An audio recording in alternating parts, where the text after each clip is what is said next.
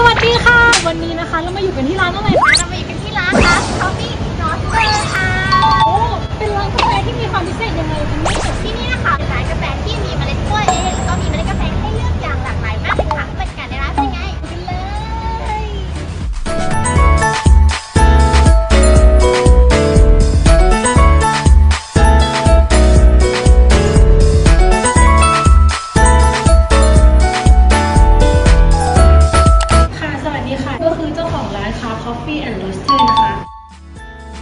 ครับอภิพงศ์ตั้งสุขวัฒวัฒน์ครับ เจ้าของ Craft Coffee Roaster ครับ ร้านเนี่ยส่วนใหญ่ 80%กาแฟแหล่งปลูกจากประเทศไทยแหล่งที่เราเลือกใช้เนี่ยเป็นหมู่บ้านแม่จันใต้ส่วนอีก 20%เนี่ยเป็นกาแฟที่นำเข้าเข้ามา ก็จะมีจากหลายประเทศ เอธิโอเปีย เคนยากัวเตมาลา บราซิล ด้วยร้านเราเนี่ยเป็น specialty นะครับ เราก็จะพยายามที่จะหาสายพันธุ์แปลกๆก็ในแหล่งผลิตหรือในแหล่งปลูกของกาแฟที่ดีเพื่อเข้ามาใช้ในร้าน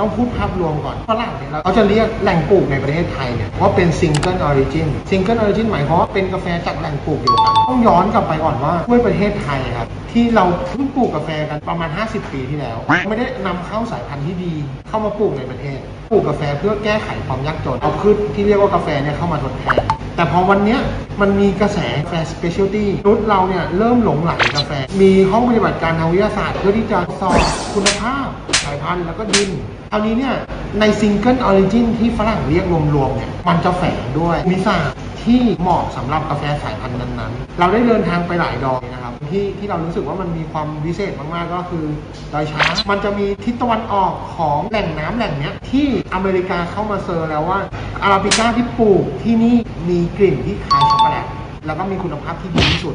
คราวนี้เราไปดูภาพนะภูเขาทางด้านทิศตะวันออก มีแหล่งน้ำแหล่งเนี้ย หล่อเลี้ยงไปไร่กาแฟทั้งหมดสามหมื่นไร่แล้วทิศตะวันตกมันเกิดแหล่งน้ำใหม่ตรงนั้นเนี่ยมีการเปรียบเทียบแล้วว่า origin มันไม่เหมือนกันมันเชื่อมโยงไปที่กลิ่นที่รสชาติทำไมถึงเลือกแม่จันต้าเราไปเจอว่าแม่จันต้าเป็นดินดำการที่ดินมันดำเนี่ยผมบอกถึงแร่ธาตุที่ค่อนข้างดี แม่จันต้าเนี่ยเป็นพื้นที่ใกล้เคียงกับดอยช้างที่ปลูกฝิ่นในการปลูกฝิ่นเนี่ยถ้าเจาะลงไปลึกๆเนี่ยธาตุอะไร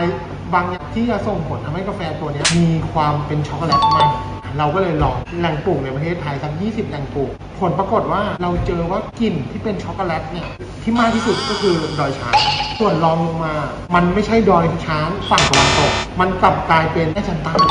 ทั้งหมู่บ้านเราก็เลยทำการสืบค้นข้อมูลครับ จากชาวบ้าก็รู้ว่าก่อนที่เขาจะปลูกกาแฟทั้งหมู่บ้านเลยปลูกฟินเลย ข้อนี้เองก็เลยทำให้กาแฟจากบ้านแม่จันใต้ มีเอกลักษณ์ที่ใกล้เคียงกับดอยช้างมากที่สุด เราถามว่าทำไมถึงไม่ไปเอาดอยช้าง ไม่ได้นะครับ ดอยช้างถูกล็อกส่งสเปคพวกนี้ไปที่อเมริกาไปที่ยุโรปทั้งหมด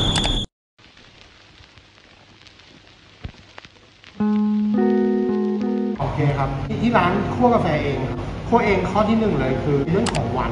บางคนจะเข้าใจผิดว่ากาแฟเนี่ยมันมีอายุชงได้ปี 2 ปีเลยนะมาเก็ตใช่ไหมครับกาแฟเนี้ยมันคั่วมาแล้ว 9 เดือนแต่มันก็ยังไม่หมดอายุนี่เพราะว่าเขาบอกว่ามันใช้ได้2ปีเป็นจริงเนี่ยกาแฟนะหลังจากคั่วแล้ว เราจะพวกปล่อยให้เขาคายแก๊สคาร์บอนไดออกไซด์ประมาณ 1-2อาทิตย์แล้วเขาจะโชว์รสชาติที่ดีที่สุดอีกประมาณ 2 เดือน แล้วทุกอย่างจะลดลง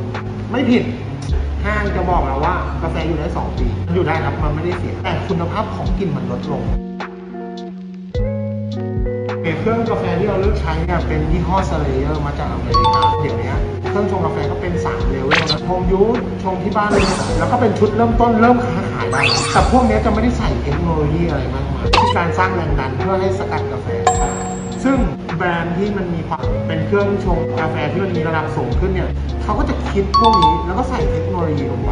การควบคุมที่หัวชงเลย แบรนด์นี้ คิดการคงน้ำก่อนการชงถามว่าเนี้ยดีเหมือนกันหมดแล้วมันขึ้นอยู่กับการสกัดที่บาริสต้าบาริสต้าก็ต้องเรียนการสกัดให้ออกมาดีหรือออกมาแย่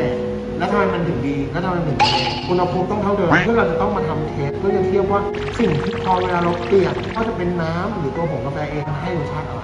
มันก็จะย้อนกลับไปที่พวกเราเรียนวิทยาศาสตร์ว่าเราต้องทำตัวแปรทุกอย่างให้นิ่งให้ได้ เพื่อเราจะสรุปผลการทดลองนั้นได้กาแฟเป็นวิทยาศาสตร์ เรียกเลยค่ะว่าร้านนี้เป็นร้านที่แบบสุดยอดมากๆเลยนะคะสำหรับใครนะคะที่แวะมานครปฐมนะคะ อย่าลืมแวะมาที่ร้านครับคอฟฟี่ลาเต้กันด้วยนะคะรับประกันแน่นอนค่ะว่าไม่ผิดหวังอย่างแน่นอนแต่วันนี้พวกเราขอตัวลาไปก่อน สวัสดีค่ะ